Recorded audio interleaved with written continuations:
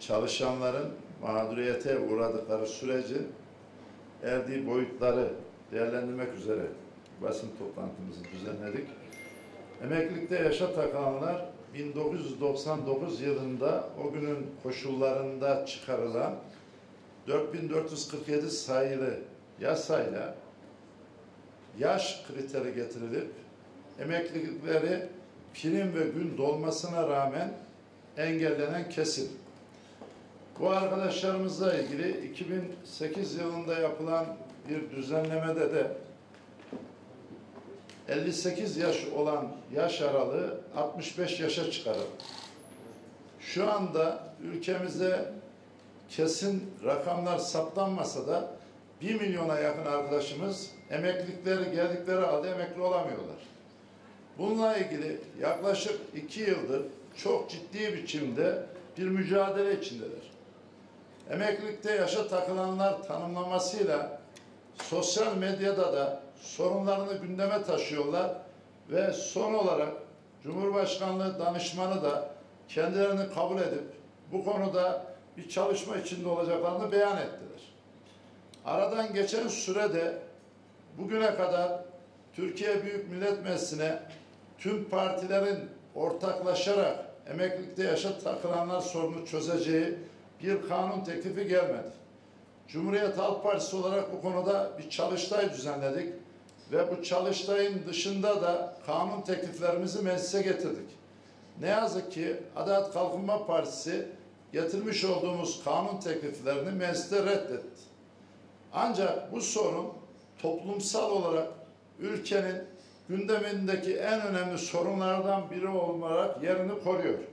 Mutlak surette emeklilikte yaşa takılanlar için bir düzenleme gerekiyor. Tüm siyasi partilerin birlikte bu yasayı çıkarması, sorunu kökten çözmesi şart. Değerli arkadaşlar, 20 yıl kadınlarda, 25 yıl erkeklerde prim ve gününü dolduran emekli olabiliyordu. Yaş tanımlaması geldikten sonra arkadaşlarımızın emeklilikleri ellerinden alındı ve yaş doluncaya kadar işini yitirseler dahi emekli olamıyorlar. Oysa bunlar 20 yıl, 25 yıl primlerini ödemiş ve primlerinin karşılığı olan hak edişlerini maaş olarak almayı bekleyen kesim. Yani bu arkadaşlar kimseden bize ayrıca bir destek sağlayın isteği yok. Verdiklerini geri ödenmesi talep ediyorlar. Bugün sabah yine emeklilikte yaşa takılan bir aile aradı. Figen Siler 48 yaşında 1993 girişi 25 yıl çalışmış 2 senedir işsiz.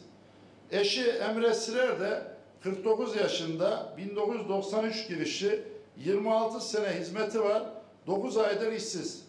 Başvurdukları yerler yaştan dolayı işe almamışlar. Aile maddi manevi olarak büyük sıkıntı içinde boşanma aşamasına geldik sayın vekilim. Bizim sorunumuz neden duyulmuyor, neden çözüm üretilmiyor diye aradılar. Figen Sirer 2023 yılında emekli olacak. Emre Sirer 2024 yılında emekli olacak. Bu süre zarfında emekli olamadıkları için hiçbir yerden de gelirleri olmadığından aşağı mahkum nasıl yaşayacaklarını soruyorlar. Onun için ortada gerçekten vahim durum var. Emeklilikte yaşa takılanların sorunlarını bu konuda oluşturulan dernek tüm partilere ve Cumhurbaşkanlığına kadar iletti. Bu bağlamda bu sürecin daha uzamaması gerekiyor. Emeklilikte yaşa takılanların haklarının verileceği bir düzenleme ihtiyaç. Ülkemizde kayıt dışı dediğimiz yani sosyal güvenlik kurumunda olması gerekenlerin ne yazık ki kayıt altına alınmaması sosyal güvenlik kurumunda sıkıntılara yol açıyor. Bunların kayıt altına alınması, israfın önlenmesi ve gereksiz harcamalardan kaçınılması gerçekleştirilmeyip kendi ödedikleri primin karşılığını isteyen emeklilikte yaşa takılanlara yaş sınırı getirip onların emekliliğinin önünün kesilmesi hakkaniyet ve adalette bağdaşmıyor. Bu arkadaşlarımız için söylenen bir şey var. Genç, yaşta emekli olmuyor, istiyorlar diyorlar.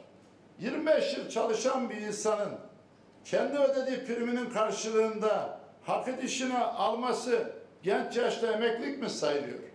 25 yıl dile kolay. O süre içinde iş yerini yapmış, çalışmış ama o sürenin sonunda özel sektör özellikle belli yaştan sonra süresi dolanları işten ayırdığında işsiz kalmışlar. Şimdi devlet bunları genç sayıyor, özel sektörde yaşlı sayarak iş vermiyor. E bu insanlar ne olacak? Bu insanların sorunuyla kim ilgilenecek? 1 milyon dediğiniz rakam ailelerle birlikte 3-4 milyon insanın sıkıntıya ve soruna dönüştüğü bir yumağa erdi. Bunu ortadan kaldırmak gerekiyor. Cumhuriyet Halk Partisi olarak biz emeklilikte yaşa takılanların sorunlarının çözülmesi yönünde getirilecek düzenlemelerde mutlaka EYT'lilerin sorunlarının aşacağı katkıyı vermeye hazırız. Emeklilikte yaşa takılanların mağduriyetinin ortadan kaldırılması için Cumhuriyet Halk Partisi bu konuda kendi üzerine düşeni dün yapmıştır, yarın da yapacaktır. Kanun tekliflerimiz mecliste beklemektedir.